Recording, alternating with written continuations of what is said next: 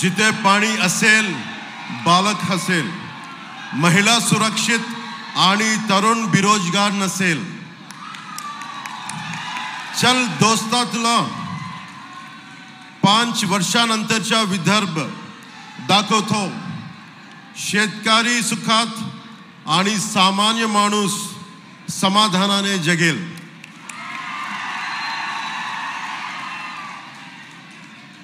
पता नाही कल से आज तक मेरी मराठी में कितना सुधर हुआ है, पर कोशिश जारी है।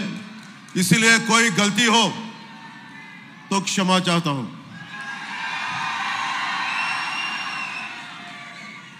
मी मराठी बोलता बोलताना चुकलो जरा मला क्षमा करा। पांडुरंगाच्या वारीची परंपरा असणाऱ्या या महाराष्ट्रात मला प्रचार वारीसाठी येता आला.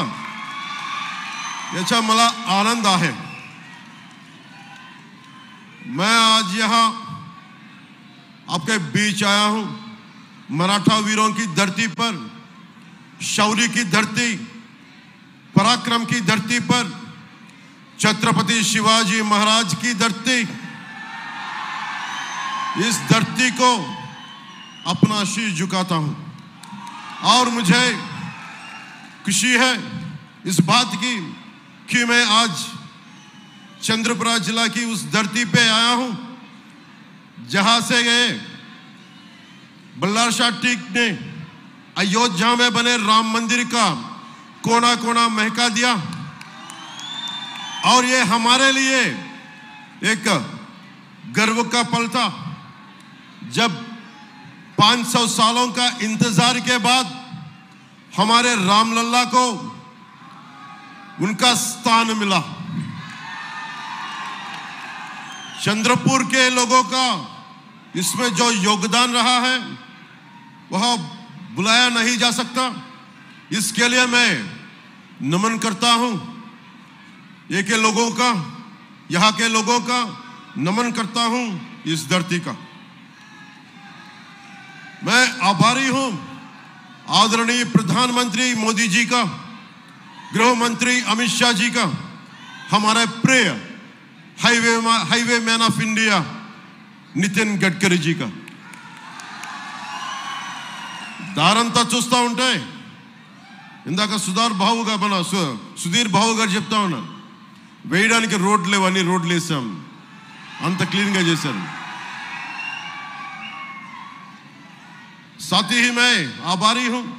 महायुति सरकार के मुख्यमंत्री श्री एकनाथ शिंदे जी का, उप मुख्यमंत्री अजीत पवार जी का, उप मुख्यमंत्री देवेंद्र फडणवीस जी का। साथ ही मैं आभार व्यक्त करता हूँ। मंच पे बैठे सभी नायकगण को। जैसे मैंने कल अपना मराठवाड़ा के भाइयों, बहनों से भी कहा, मैं फिर कहता हूँ कि मैं यहां सिर्फ ఓట్ మాంగనే నహి ఆయా నేను ఓట్లు అడగడానికే రాలేదు ఈ నేలకి నా గౌరవం తెలపడానికి వచ్చాను मैं यहां सिर्फ वोट मांगने नहीं आया मैं सभी का साथ मांगने आया हूं महाराष्ट्र के विकास के लिए अपने विदर्भ के किसान भाइयों माताओं, बहनों और युवाओं से ये कहना आया हूँ, ये कहना आया हूँ कि वो एक साथ एकजुट होकर सनातन भारत के अपने को साकार करें। पिछले दस वर्षों में जितनी निष्ठा और समर्पण भाव से एनडीए सरकार ने भारत को दुनिया भर में सम्मान दिलाया है, आधार दिला, आधार दिलाया है, विश्व की पांचवी अर्थव्यवस्था बनाया है और तीसरी अर्थव्यवस्था बनाने के प्रयास में लगी है। हमें इसे नहीं भूलना चाहिए। इसके लिए मैं आप महाराष्ट्र की जनता, विदर्भा की जनता, हम सबको मिलकर ये एक छोटा सा प्रयास करना है। वोट देने जाना है और सही नेतृत्व चुनना है, ताकि ये विजय रथ नहीं रुके। बिल्कुल, वैसे जैसे बाहुबली में राजमाता शिवगामी के पाव नहीं रुकने दिए महेंद्र बाहुबली ने। मैं ये पूछता हूँ, जनता को क्या चाहिए? सिर्फ़ विकास विकास विकास। और ये कौन दे सकता है? नरेंद्र मोदी जी के नेतृत्व में एनडीए सरकार महाराष्ट्र के सतत विकास के लिए कौन चाहिए महायुति सरकार? इसलिए मैं आज यहाँ आपके बीच आया हूँ, क्योंकि मैं बीजेपी और शिवसेना, बाला साहेब ठाकरे जी की शिवसेना के विचारों पे चलने वाला व्यक्ति हूँ। హిందూ ధర్మాన్ని ఇది మీకు చదివి మీ తెలుగులో చెప్తాను शिवसेना और जनसेना दोनों ही सनातन रक्षा के लिए समर्पित सेनाएं हैं और मुझे इसीलिए यहां आते खुशी है खुशी हो रही थी कि मेरे आदर्श हिंदू हृदय सम्राट बड़ा साहेब ठाकरे जी की भूमि पे आने का मौका मिला है ఈరోజు ఆయన స్మృతి దినం. అంటే మన ప్రాంతీయతని విస్మరించిన జాతీయవాదం జనసేనది. నేను మన తెలంగాణకు కూడా ఎందుకు అంత మద్దతు ఇస్తానంటే స్థానిక వనరులు స్థానిక మానవ వనరులు మనకు ఉపయోగపడాలి. మన స్వయం ప్రతిపత్తి కోల్పోకూడదు. మనం బలంగా నిలబడాలి. అది తెలంగాణ కావచ్చు విదర్భ కావచ్చు సంపూర్ణమైన మహారాష్ట్ర కావచ్చు. కానీ ప్రాంతీయత బలం ఉండాలి అంత మాత్రాన జాతీయ భావాలను చంపకూడదు ఇదే నేను హిందూ హృదయ సామ్రాట్ బళా సాహెబ్ ఠాకరే గారి నుంచి నేర్చుకున్నాను అదే జనసేనలో పెట్టింది ప్రాంతీయతను విస్మరించని జాతీయవాదం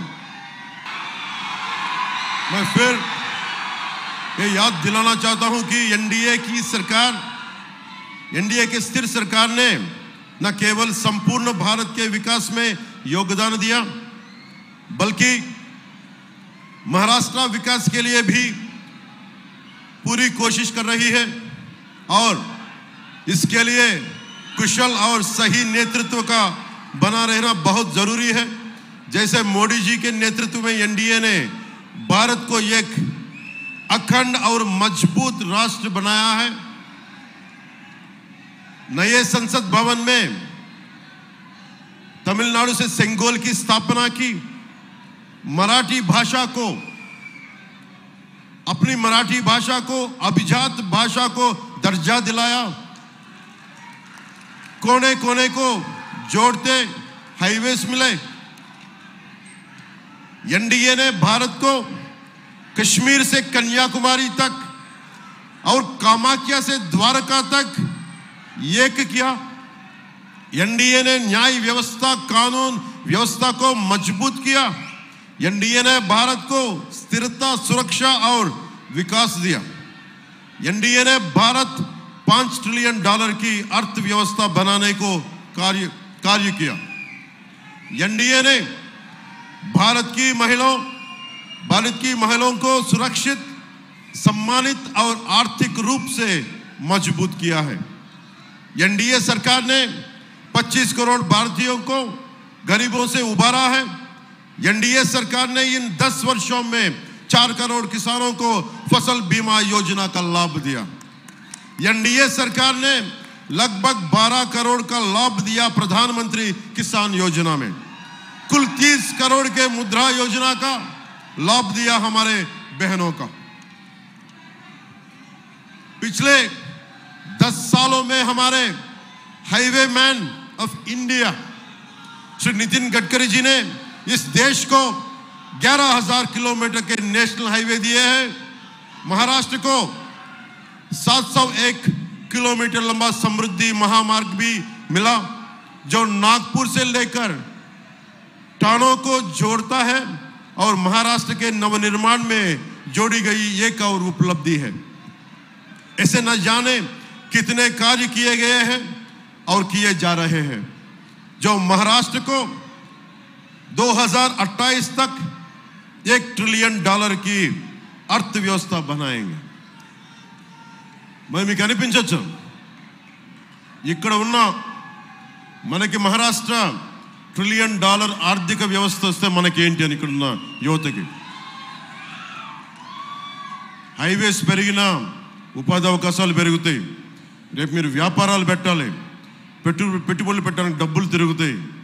రేపొద్దున మీకు కొత్త కొత్త ఉద్యోగాలు చేయాలి. ఇందాక సుధీర్ బాబు గారు చెప్తా ఉన్నారు. మూడు వందల పనులు చేశాను. వేయడానికి రోడ్లు సంపూర్ణమైన రోడ్లు వేశాను. సైనిక్ స్కూల్ దగ్గర నుంచి మహిళల కోసం అరవై ఒక్క స్కిల్ డెవలప్మెంట్ యూనివర్సిటీ కానీ మామూలు చదువులతో పాటు ఇవన్నీ రావాలంటే వన్ ట్రిలియన్ డాలర్ ఇవి వన్ ట్రిలియన్ డాలర్ కాకముందే ఇంత బలంగా వచ్చినాయి అంటే ఈరోజు రోడ్లు వేయడానికి బ- డబ్బులు ఎక్కడి నుంచి వచ్చినాయి ఈరోజు ఆడపిల్లలకి అరవై ఒక్క స్కిల్ డెవలప్మెంట్ చేయాలంటే డబ్బులు ఎక్కడ వచ్చినాయి మన ఆర్థిక వ్యవస్థ బలంగా ఉంటేనే మనం ఈ అభివృద్ధి సాధించగలం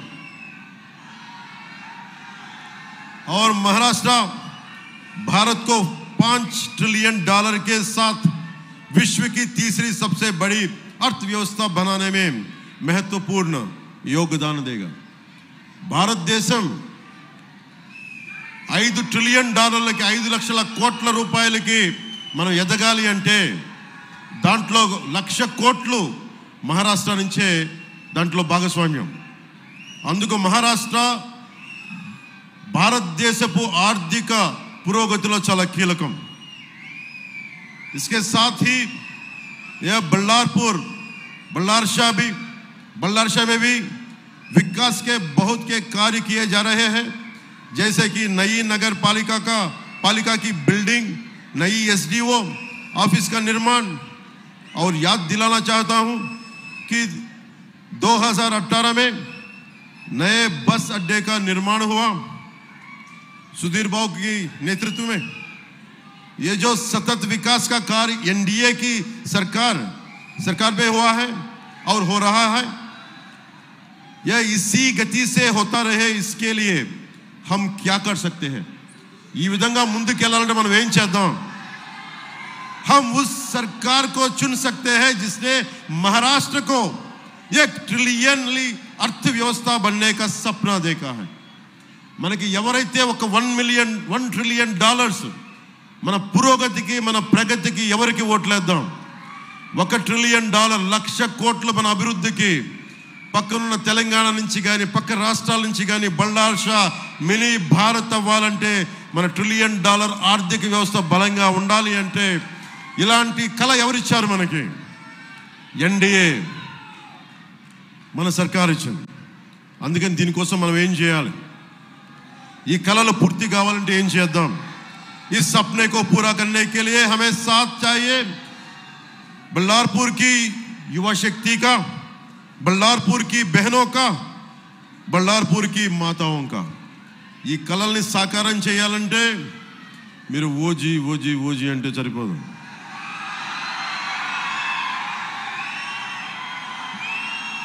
ఓట్లు వేయాలి రోడ్డు మీదకి రావాలి. నేను చేసి చూపించాను కదా. ఆంధ్రాలో వైసీపీ సర్కార్ని కొట్టామంటే మామూలు కొట్టామా? మళ్ళీ ఇంకోసారి హ్యాట్రిక్ కొట్టాలి ఇక్కడ మనం. అందుకనే మన సర్కార్ మహాయుతి సర్కార్ రావాలి. కేంద్రంలో ఎన్డీఏ సర్కార్ రావాలి. మీరు బలంగా నిలబడాలి.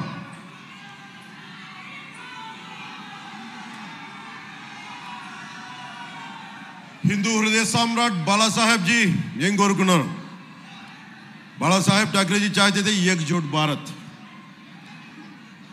जिसे మోడీ जी पूरा कर रहे हैं బాలాసాహెబ్ గారు కోరుకుంది ప్రాంతీయతలో బలంగా పెరుగుతూనే జాతీయవాదం పెరగాలి సనాతన ధర్మం పరిరక్షింపబడాలి అది మోడీ గారు చేస్తా ఉన్నారు बाला साहेब ठाकरे जी चाहते थे राम मंदिर जिसे एनडीए ने नरेंद्र मोदी जी नेतृत्व में पूरा करके दिखाया एनडीए उनकी हर इच्छा को पूरा करने में लगी है और उसे चाहिए आपका साथ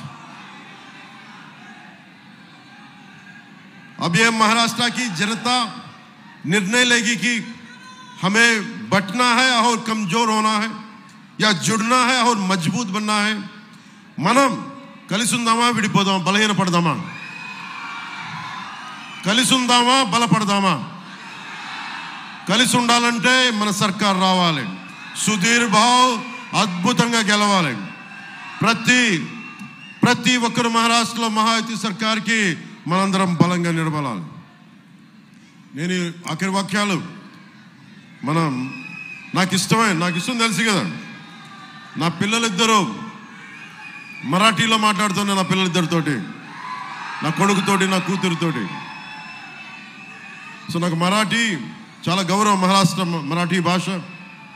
ఆ భాష మీద ఉన్న గౌరవంతో నేర్చుకొని మరి ఎందుకంటే మన భారతదేశం ఎక్కడో జర్మనీ నుంచి మ్యాక్స్ ముల్లర్ భవన్ పెడితే మనం జర్మనీ నేర్చుకుంటాం.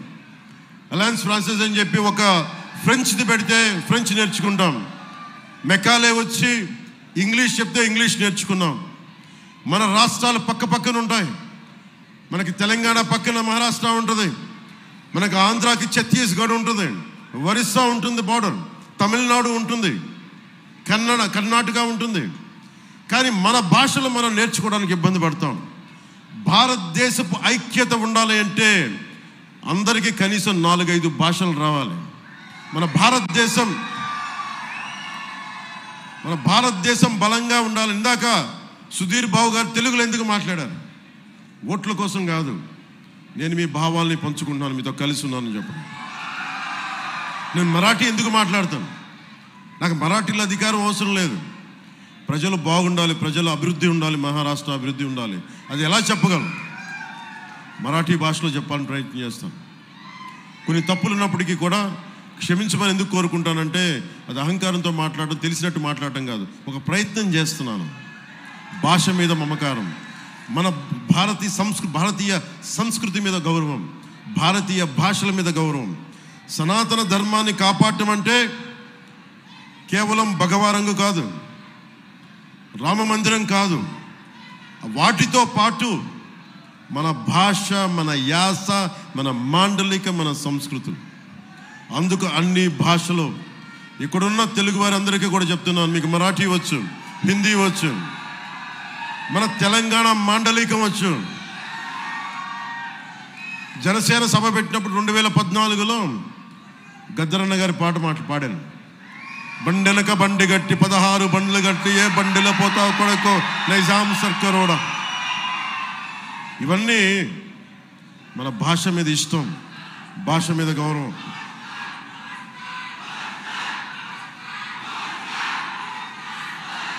लक्षात ठेवा लक्षात ठेवा जो देणार कष्टाला किंमत तरुणांना हिंमत त्यालच्या तुम ही मत मैं बल्लारपुर की जनता से अनुरोध करता हूँ। मैं बल्लारपुर की जनता से अनुरोध करता हूँ कि अपने क्षेत्र के विकास के लिए कमल का बटन दबाए और बीजेपी प्रत्याशी सुधीर भाव जी की, जी को, सुधीर भाव जी को भारी मतों से विजयी बनाए। ఆయనకి ఘన విజయాన్ని ఇవ్వండి. అద్భుతమైన విజయం ఇవ్వండి. మన మహాయుతి సర్కార్ ఎన్డీఏ సర్కార్ మూడోసారి ప్రధానమంత్రి మోడీ గారు రాకూడదు అని ఎంతమంది కోరుకున్నారు. అందరినీ కాదని కూర్చోబెట్టం ఆ సత్తా ఆంధ్ర నుంచి ఇచ్చాము భారతదేశానికి బలమైన నాయకుడు కావాలి. భారతదేశంలో మన నాన్నగారు రెండు వేల మనకి కస్సాబ్ పాకిస్తాన్ నుంచి ఉగ్రవాదులు వచ్చి ముంబై మీద దాడులు జరిగితే నేను ఆ రోజున కాశీలో ఉన్నాను. మా నాన్నగారి చితాభస్మం కలపడానికి. ఆ రోజు అనిపించింది ఒక పాకిస్తాన్ నుంచి ఉగ్రవాదులు వచ్చి ఇష్టా రాజ్యంగా మన ఆర్థిక రాజధానిలో ఈరోజు మన కలలు కంటున్న ట్రిలియన్ డాలర్ ఎకానమీకి సంబంధించిన మహారాష్ట్రలో ముంబైలో ఆ రోజు దాడులు చేస్తూ ఉంటే నాకు ఒకటే అనిపించింది. బలమైన నాయకుడు కావాలి. దేశం ఇన్ని కోట్ల మంది ప్రజల వెన్నెముకని ధైర్యంగా నిలబెట్టే నాయకుడు కావాలి. ఆ నాయకుడు నరేంద్ర మోడీ గారిలో కనిపించాడు నాకు. ఇప్పుడు ఉన్నాయా మీకు? ఒక్కళ్ళు వస్తున్నారా బయటికి? ఉగ్రవాదులు ఉన్నారా? అందుకు అభివృద్ధితో పాటు భారతదేశం బలహీనమైంది కాదు బలమైన దేశం. అలాంటి బలమైన దేశం ఇంకొకసారి రావాలి. మహారాష్ట్రలో మన మహాయుతి సర్కార్ రావాలి. అక్కడ మన ఎన్డీఏ సర్కార్ ఉంది నరేంద్ర మోడీ గారి నేతృత్వంలో. అందుకని బలంగా మనం విజయం బాటంగా గెలవాలి. ఇరవయో తారీఖు ఎలక్షన్స్. మీరందరూ కమలం గుర్తు ఎక్కడుందో ఎన్సీపీకి గుర్తులు ఏమున్నాయో. మన శివసేన మన గుర్తులు ఏమున్నాయో? వాటన్నిటికీ మీరందరూ ఓట్లు వేసేయండి గెలిపించండి మనస్ఫూర్తిగా కోరుకుంటూ